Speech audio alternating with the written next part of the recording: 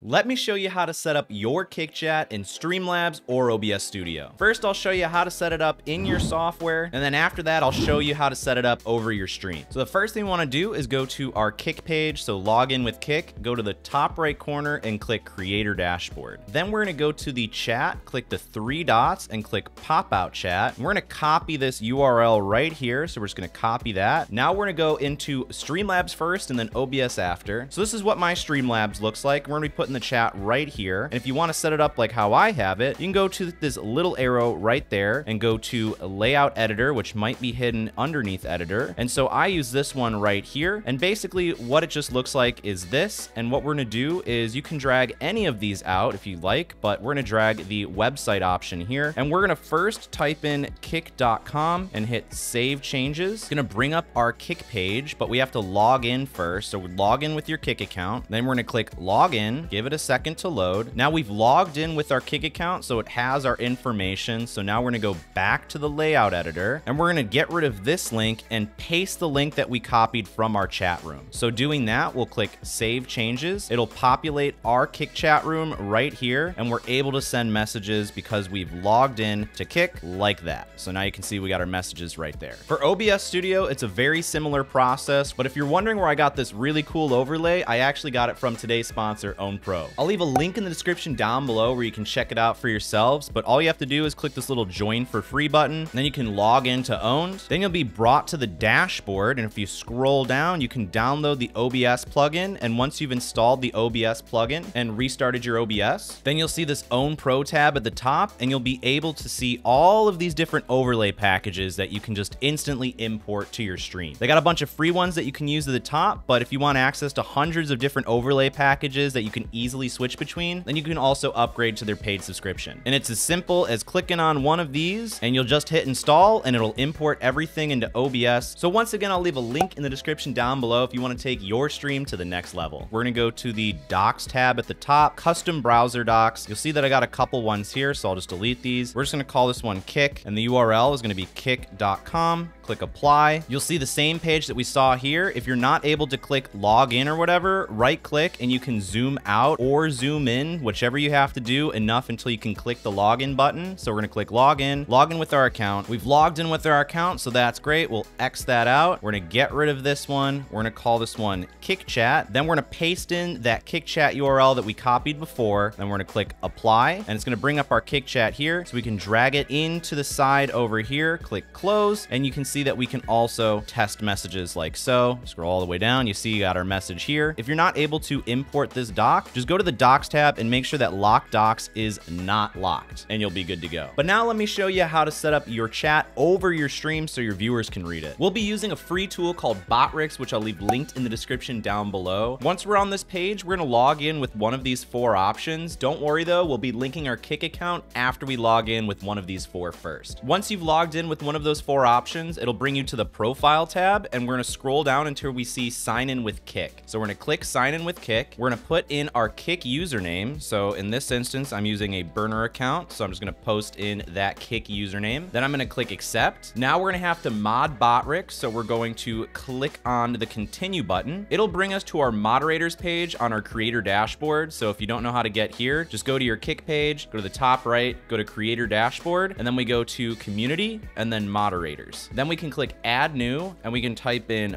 Botrix and then you're gonna see it with a little green check mark. So click on that and then we're gonna click add. Now we can go back to Botrix. It'll bring up this little box here and we're just going to copy this and we're gonna right click and copy. Then we're gonna go to this link right here. So we're gonna click this link and not the finished button. It's gonna bring us to the Botrix chat room. And if you don't see this Botrix chat room, then just go to this URL right here and just type that in your browser. And once you're in Botrix's chat room, we're just gonna paste in this link message that we copied. We're gonna send it by clicking chat or hitting enter. Give it a couple seconds. Now it says that your account has been successfully linked. So let's go back to Botrix and now we can click finished. So now once we've linked our Kick account and we're under the profile tab, you notice that our platform says Twitch. We want that to say Kick because we want to change our Kick settings and not our Twitch settings or whatever you logged in with at the beginning. So we're just gonna go to the profile tab and we're gonna click on the green settings icon next to Kick and that's gonna change our platform to Kick so we can change all of our kick settings here. So from here, we're gonna go to the widgets tab and go all the way down till we see the chat room. So you'll notice that you'll be able to see the display of what this chat is gonna look like. Right now, we only wanna use Kick, but if you're multi-streaming, this is a great solution for you. So if you wanted to have your Kick chat, your YouTube chat, and Twitch chat all in the same place, then you can feel free to use these options. But right now, we're just gonna use Kick, so I'm gonna disable all of them but Kick. You have the options to hide bot messages or include these extra emotes, which is fine. You can also hide old messages, and now you're able to adjust how long it takes before those messages disappear. But I'm a fan of just leaving them on, so I'm gonna disable that. You can also adjust the font size if you have some glasses on or you just can't see it too great. And every time you make changes, it'll display up here. It just might take a couple seconds for it to make those changes. You can also hide commands with the exclamation point, which I recommend. You can also show the platform icon, which is really helpful if you're multi-streaming, so that way you can see who's talking from Twitch, YouTube, Kick,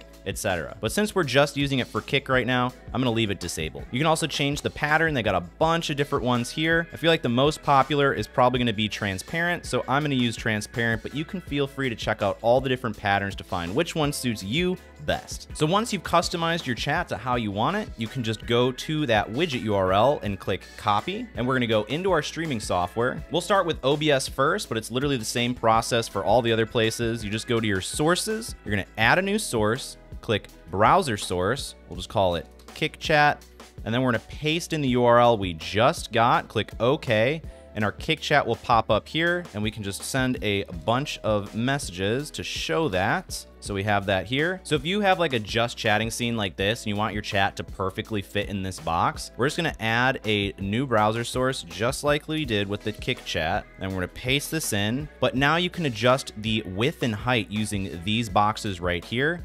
So right now I'm just gonna click OK. We're gonna get that box over here. And now I can double click on that kick chat source and we can go and change the width and height to where it's gonna fit in that box perfectly. Hopefully I can get it relatively quickly. It'll make the changes when you hit OK. So I think that was a little bit too much. So we're just gonna keep tweaking it until we get just right. So I'm gonna guess this is pretty close. We're gonna drag it right about there. I think that's pretty good. We're gonna send some messages so that way it fits in whatever text box you're trying to get it to fit in. And like I said, if you're multi-streaming and you wanna read your chat in OBS, you can just add that as a dock. So custom browser dock, we'll just call it multi-chat. Then we're gonna paste in this link that we just got, click apply.